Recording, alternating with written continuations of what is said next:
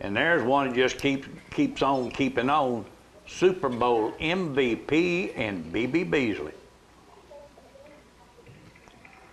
That little gal can flat right. Yes, I believe they was made for each other. What do you think? I believe so.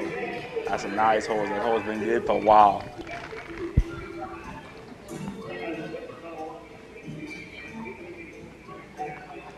Getting her done.